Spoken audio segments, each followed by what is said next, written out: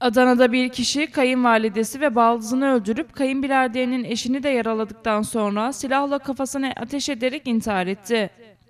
Olay Merkez Sarıçam ilçesine bağlı Akkuyu mahallesinde meydana geldi.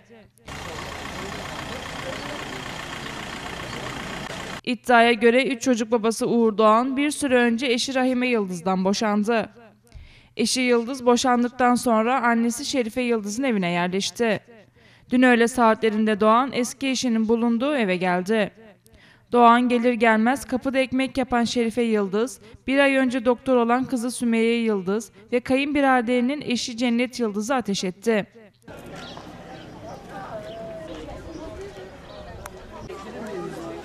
Ekmek yapanlar arasında eşinin de olmasına rağmen Doğan ona ateş etmedi. Doğan daha sonra kendi kafasına ateş ederek intihar etti. Baldız, kayınvalide ve Doğan hayatını kaybetti.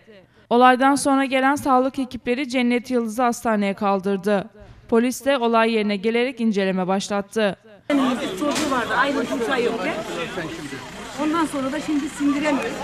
Doğan'ın eşiyle boşanma sebebi olarak baldızı ve kayınvalidesini sorumlu tuttuğu için öldürdüğünü öne sürdü.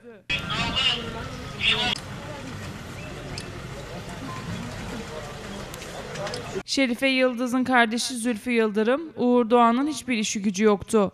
Geliyor burada ablam ve yeğenim ekmek yaparken onları öldürüyor. Kendi de içeride geberiyor diye konuştu.